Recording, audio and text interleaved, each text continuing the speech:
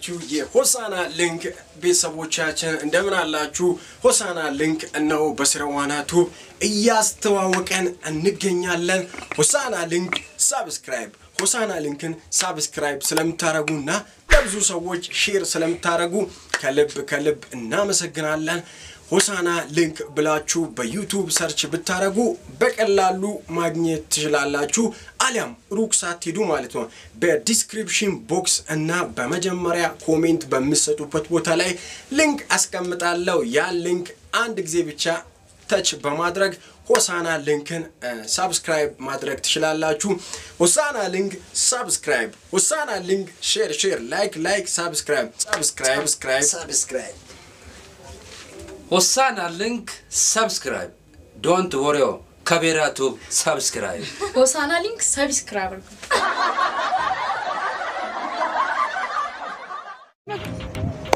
ሰላም ሰላም፣ እንደምን አላችሁ ውድ የተወደዳችሁ የሴረዋና ቫይን ቤተሰቦቻችን ሀገር ውስጥም ከሀገር ውጭም ያላችሁ፣ ዛሬ በሀዲያ ርዕሰ መዲና በሆነችው በሆሳና ከተማ ተገኝተን አዝናኝ prank ወደ እናንተ ለማቅረብ ዝግጅቶቻችን አጠናቀናል። ከእናንተ የሚጠበቀው ከኛ ጋር አብራችሁ መቆየት ነው።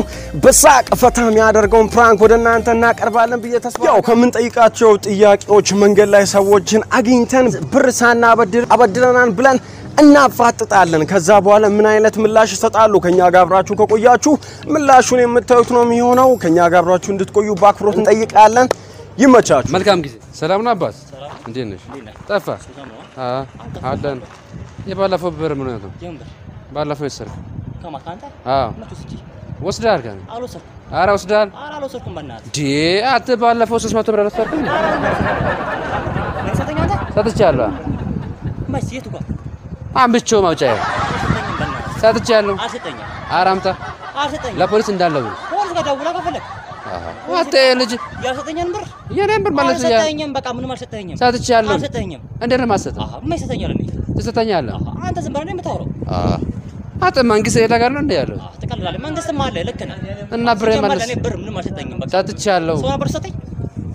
አዎ ነበር። ምን አይነት ሰው አመጣ? እኔ ምን አይነት ሰው እንዳለ በምን አውቃለሁ? ሰው አምጣና ከፈለክ እንትን አደርግልሃለሁ። ሰው እኔ ከየት አመጣለሁ? እኔ አልወሰድኩም። በቃ ወስደሃል። አልወሰድኩም። ውይ ውይ ውይ አንተ ሦስት መቶ ብር ልትበላ ነው እንዴ? አ? ግድ ነው አንተ የምትለኝ ብር እና በግድ ነዋ። እኔ ከእኔ የወሰድከውን ብር እኔ ከአንተ ላንተ ስጣሉ ሲጀመር ነው።? አልተቀበልኩም። አልተቀበልኩም። እኔ ላንተ ስጣሉ ሲጀመር በቃ ነው እዛ ጋር ካሜራ አለ።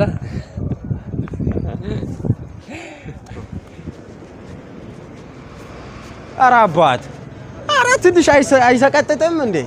ኧረ በእናትህ ያስጠላል። ኧረ እባክህ ባለፈው የሰጠውን ብር ስጠኝ። ባለፈው አልሰጠውም እንዴ? አስር ሺህ አስር ሺህ ቢገርም ከባንክ ፊት እየወጣት ኧረ account number ጠፍቶብኛል ስትል እኮ አስር ሺህ ሰጥቼሃለሁ። ኧረ ያስጠላል በእናትህ። ኧረ በአንተ ቤት አራዳ መሆን ነው እንዴ?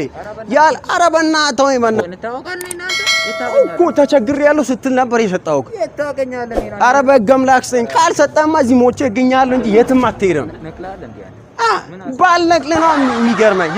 አስር ሺህ ሰጥቼ እና ጤነኛ እንደሆነ የምፈልገው ኧረ እባክህ ያስጠላል። ደውል ደውል ለፖሊስ። ኧረ ኧረ ያስጠል ደውል። አሃ ኧረ በእናትህ እንደውም ስጠኝ በእናትህ አስር ሺህ እኮ ነው የሰጠሁህ። ኧረ በእናትህ ስጠኝ።? እኔ የለውም በቃ ጤነኛ አይደለሁም። ስጠኝ ባለፈው ብር። ኧረ በእናትህ ይሻላል እንዲህ እኔማ እዛኔ ተቸግሬያለሁ። በእናትህ እንደምንም አድርግተህ እ? ኧረ በእናትህ ያስጠላል። በእናትህ ባለፈው አልሰጠውም። ኧረ በእናትህ ያስጠላል።